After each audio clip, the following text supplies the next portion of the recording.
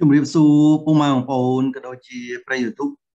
និងសួស្តីបងប្អូនសិស្សពេទ្យទាំងគ្នាបាទអញ្ចឹងថ្ងៃនេះខ្ញុំបាទជលខកសុនមានព័ត៌មានសុខភាពថ្មីថ្មីមួយទៀតហើយដើម្បីចែកម្លែកពុកម៉ែបងប្អូនក៏ដូចជាប្រិយ YouTube និងបងប្អូនសិស្សពេទ្យទាំងអស់គ្នាបាទអញ្ចឹងព័ត៌មានសុខភាពថ្មីថ្មីក្នុងថ្ងៃនេះនិយាយអំពីរោគសញ្ញាលើស្បែកនៃអូអូមីក្រុងដែលភាសាអង់គ្លេសគេថា skin rash of omicron យើងដឹងថាតកតទៅនឹងករណីជំងឺ COVID-19 អូមីក្រុងបាទយើងឃើញថាវាបង្ហាញជារោគសញ្ញាផ្សេងផ្សេងគ្នាហើយក្នុងនោះគឺលើមនុស្សមួយចំនួនក៏វាមិនមានរោគសញ្ញាដែរប៉ុន្តែក៏វាអាចចេញជាសញ្ញាលើស្បែកចំពោះករណី COVID-19 អូមីក្រុងផងដែរតើរោគសញ្ញាលើស្បែកនៃអូមីក្រុងនោះវាមានសញ្ញាខ្លះសូមស្ដាប់ការបកស្រាយរបស់ខ្ញុំបាទជាបន្តបន្ទាប់ដូចតទៅ បាទអញ្ចឹងមេត្តាក្នុងនេះយើងឃើញមាន3ចំណុចសំខាន់ទី1គឺស្បែកដើមទី2គឺរោគសញ្ញានៅលើស្បែកនៃអូមីក្រុង ទី3គឺវិធានការបង្ការជំងឺបាទអញ្ចឹងចង់ថាតើរោគសញ្ញាលើស្បែកនៃអូមីក្រុងមានរោគសញ្ញាខ្លះសូមតាមការបកស្រាយរបស់ខ្ញុំបាទជាបន្តទៅទៀតបាទអញ្ចឹងយើងមើលស្បែកដើមយើងថាជំងឺ Covid-19 អូមីក្រុងបាទជំងឺ Covid-19 អូមីក្រុងអាចលេចចេញរោគសញ្ញាតិចតួចឬក៏មិនមានរោគសញ្ញា បាទអញ្ចឹងករណីអូមីក្រុងហ្នឹងវាអាចមានចេញរោគសញ្ញាតិចតួចឬក៏មិនមានរោគសញ្ញាលើអ្នកដែលចាក់វ៉ាក់សាំងរួចគ្រប់ដូសប៉ុន្តែជំងឺនឹងអាចជាប្រភពចម្លងទៅលើអ្នកដែលមិនទាន់ចាក់វ៉ាក់សាំងបាទឬក៏អ្នកដែលចាក់វ៉ាក់សាំងដែរប៉ុន្តែប្រព័ន្ធការពារចុកខ្សោយឬក៏អ្នកដែលមានជំងឺរុំសំអញ្ចឹងអ្នកនឹងអាចវិវត្តទៅរកជំងឺធ្ងន់ធ្ងរផងដែរបាទនោះយើងតាម express.co.uk ដែលបានចេញផ្សាយអំពីករណី Omicron ផងដែរ យើងមកជិះបន្តទៀតរោគសញ្ញានៅលើស្បែកនៃអូមីក្រុងបាទអញ្ចឹងរោគសញ្ញាលើស្បែកនៃអូមីក្រុងគេថាមានភាគរយតិចជាងក្រុម Delta និងមេរោគ COVID-19 មុនមុនបាទអញ្ចឹងគេសិក្សាទៅឃើញថាសញ្ញាលើស្បែករបស់ពួកអូមីក្រុងហ្នឹងភាគរយវាយើងឃើញមានចំនួនតិចជាងភាគរយនៅក្នុងក្រុមពួក Delta ហើយនឹងមេរោគ COVID-19 មុនមុនផងដែរក្នុងនោះគេឃើញមានសញ្ញា គឺ6សញ្ញាលើស្បែកបាទយើងឃើញមាន6សញ្ញាលើស្បែកនិងនៅម្រាមដៃនិងជើងបាទគឺជាសញ្ញាឬក៏ជារោគសញ្ញានៃជំងឺ COVID-19 អូមីក្រុងដែលអាចកើតមានដោយមិនមានសញ្ញាផ្សេងទៀតផងដែរអញ្ចឹងវាថាអូមីក្រុងមួយចំនួនវាអត់មានចេញសញ្ញានៅផ្លូវដង្ហើមទេ វាជាចេញជាសញ្ញាលើស្បែកបាទនៅម្រាមដៃម្រាមជើងផងដែរជាពិសេសគឺលើអ្នកចាប់វ៉ាក់សាំងរួចបានគ្រប់ដូសផងដែរ បាទអញ្ចឹងរោគសញ្ញានៃ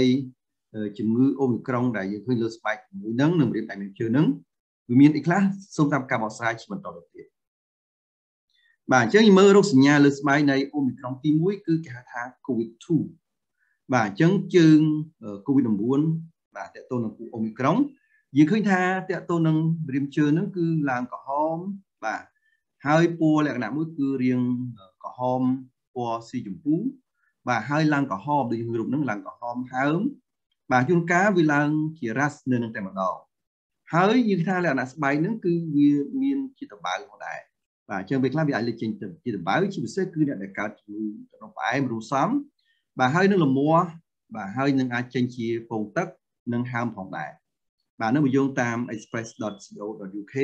ដែលបានចេញផ្សាយអំពីករណី COVID-19 បាទគឺសញ្ញាលើស្បែកនៃ Omicron ផងដែរ បាទនេះគឺជាសញ្ញាទី1គឺគេហៅថា COVID-2 បាទជាង COVID-2 គឺយើងឃើញរូបភាពបែបហ្នឹងយើងជាបន្តទៀតរោគសញ្ញានៅលើស្បែកនៃអូមីក្រុងទី2គឺតកតទៅនឹងសញ្ញានៅលើមាត់ម្ដងបាទអញ្ចឹងយើងឃើញថានៅនឹងបបោមាត់ហ្នឹងគឺមានឡើងតបៅបាទថា shaw ឬក៏ chip បាទមានស្នាមលើបបោមាត់ហ្នឹងបាទវាអាចច្រឡំជាមួយនឹង herpes បាទខ្លះគិតថាវាអាចជា herpes ប៉ុន្តែករណីខ្លះវាអាចតកតទៅនឹងករណី COVID-19 អូមីក្រុងផងដែរ បាទហៅ chip or shaw lip បាទគឺនៅនឹងវងមាត់ហ្នឹងគឺមានដំបៅបាទហើយនឹងមានហើមនៅនឹងវងមាត់ដែរបាទហ្នឹងគឺជារោគសញ្ញាលើស្បែកទី2នៃអូមីក្រុងយមកជាបន្តទៀតរោគសញ្ញាលើស្បែកនៃអូមីក្រុងទី3គេហៅថា dry skin បាទគឺស្បែកស្ងួតបាទអញ្ចឹងស្បែកស្ងួតហ្នឹងគឺគេសង្កេតឃើញមាននៅនឹងកបាទហើយនឹងផ្នែកខាងមុខនៃនឹងទ្រុង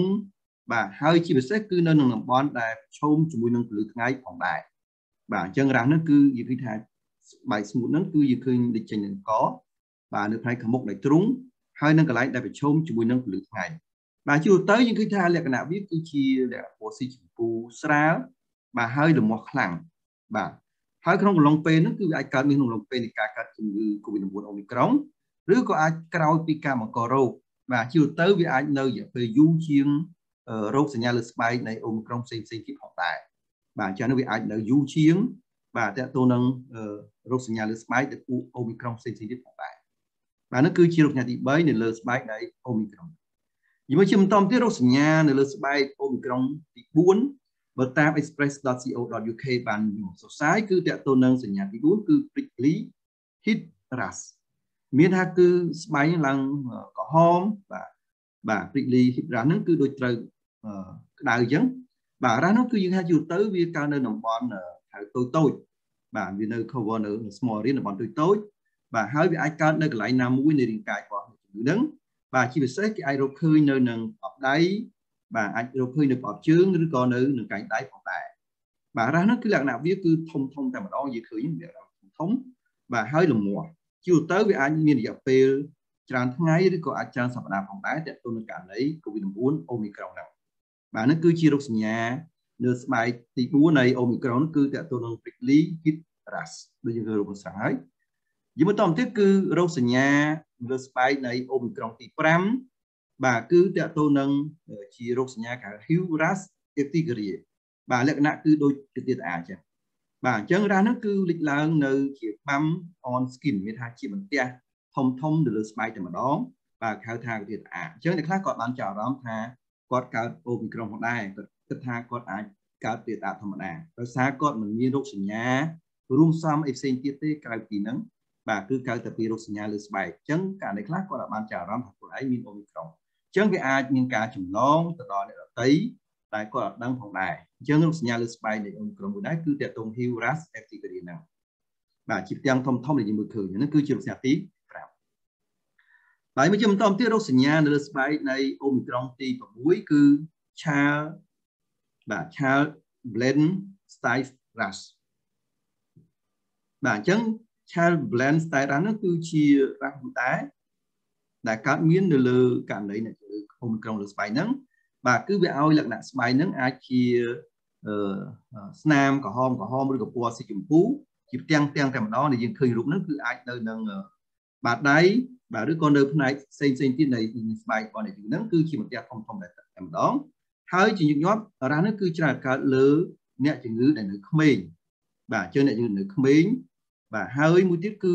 គេរាយការណ៍ថារោគសញ្ញាហ្នឹងគឺស្បែកហ្នឹងគឺมันគិតថាវានឹងលំអស់ទេបាទនេះគឺជារោគសញ្ញាមួយដែរដែលយើងឃើញតទៅនឹងករណីអូមីក្រុងហ្នឹង បាទអញ្ចឹងឃើញថាដោយសារករណីអូមីក្រុងគឺជាករណីដែលឆ្លងលឿនបាទអញ្ចឹងយើងត្រូវតែគោរពនិងអនុវត្តតាមវិធានការសុខាភិបាលបើស្លាញ់ចំពោះអ្នកបាទគឺ3ការពារនិង3កុំទាំងអស់គ្នាបាទអញ្ចឹង3ការពារហ្នឹងគឺយើងពាក់ម៉ាស់គ្រប់បានស្គាល់ចិត្ត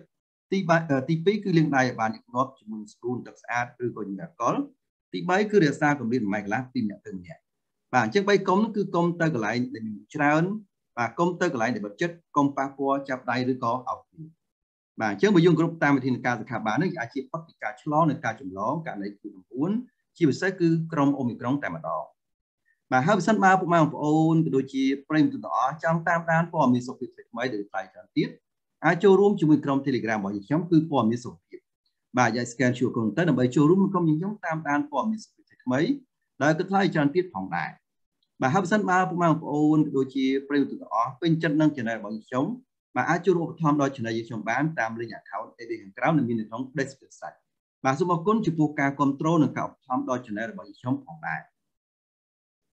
បាទហើយបើសិនបើពុកម៉ែបងប្អូនក៏ដូចជាប្រិយមិត្តទាំងអស់ចង់ទទួលបាននៅវីដេអូអប់រំសុខភាពថ្មីៗបន្ថែមទៀតបាទវីដេអូព័ត៌មានសុខភាពថ្មីៗបន្ថែមក៏ដូចជាវីដេអូនៃការរៀបពេទ្យថ្មីៗបន្ថែមរបស់សិស្សពេទ្យអាចចូលទៅក្នុង YouTube channel វាយពាក្យ CML Health and Visual ឬក៏វាយពាក្យ CML Health and Search ស្វែងទៅពេលនឹងឃើញ logo របស់យើងខ្ញុំមកហើយចូលក្នុង channel ចុចពាក្យ subscribe នៅរូបបណ្ដឹងបាទចុចពាក្យ subscribe នៅរូបបណ្ដឹងសម្រាប់ថ្មីៗដែលមិនទាន់បាន subscribe អញ្ចឹងនៅពេល post ទៅក្រោយយើងឃើញបណ្ដាញ YouTube ជាបន្តជ្រុំ subscribe អ្នកមួយដើម្បីលើកកម្ពស់ការវីដេអូជាបន្ថែមទៀតបាទសូមអរគុណ